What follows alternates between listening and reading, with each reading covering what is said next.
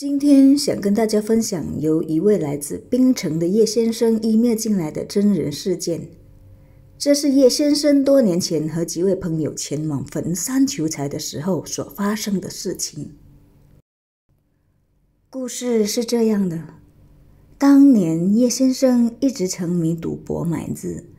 有一天下午，他接到朋友阿龙的来电。阿龙约了他们几位朋友周末到坟山去求字。听说坟山附近有个大伯公神庙非常灵。曾经有人在那边求字，赢了好多钱。叶先生和几位朋友得悉这消息之后，真的受不住引诱，马上答应了。于是周末的凌晨三点，他们总共五人共车一同前往坟山。到了坟山，把车子泊好了过后，他们五人就沿着斜坡路的小径前往。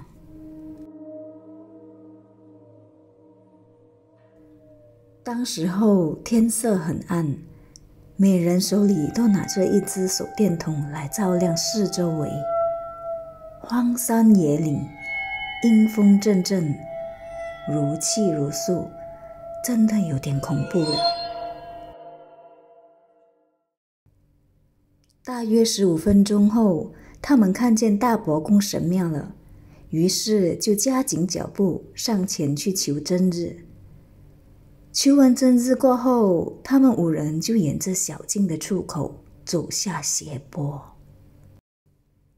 五人当中，一位叫阿三的朋友，他拿着手电筒照着斜坡路四周围的时候，突然看见一个白色又很模糊的东西在眼前飘过，而且还有一阵冷风，令他们几个毛骨悚然，不寒而栗。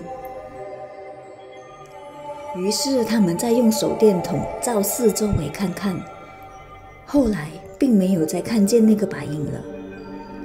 其实刚才那个白影就只有阿 Sam 和叶先生两人看见而已，其余三个呢是感觉到有一阵阴风迎面而来，就是看不见那个白影。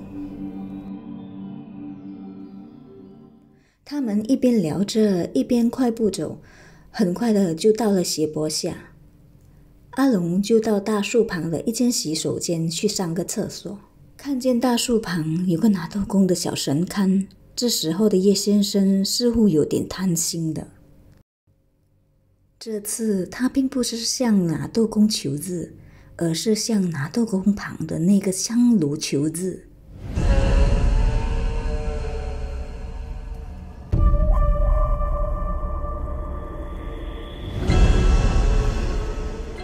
叶先生就跪了下来，便问道：“可不可以向你求个真日？”然后他就从裤袋里拿出两个硬币来制杯，结果是个阴杯。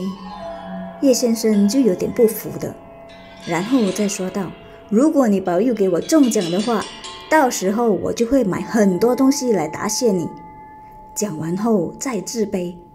这次是个笑杯。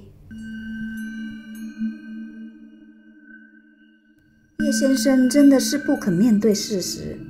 这时候，在旁的阿龙就告诉他：“别再求了，面对事实吧。我们要开车了。”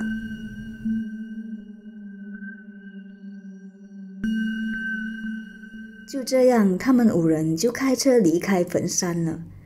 途中，阿龙就告诉叶先生。刚才那个香炉，听说是个女鬼的。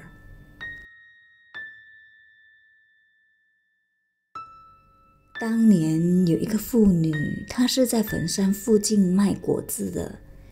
一天下了一场暴风雷雨，她被雷劈中而死的。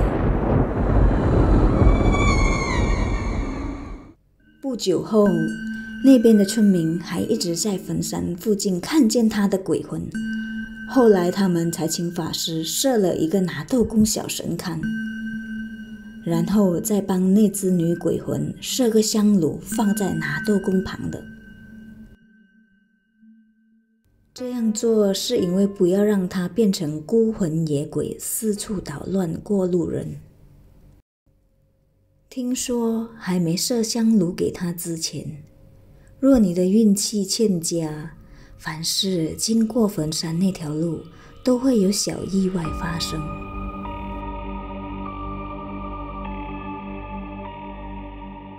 曾经有两兄弟，哥哥踩着脚踏车载着弟弟经过此路，弟弟的脚竟然整只卷入脚踏车轮缝。然后被脚踏车轮子削过，结果必须承受撕裂伤。还曾听说电单车骑士经过此路的时候，无缘无故会失控倒地。再说，最好别向他求财啊！很久以前听说，就是有一个走投无路的赌徒向他求财，后来中了奖之后。又没回来答谢他，结果连命都没了。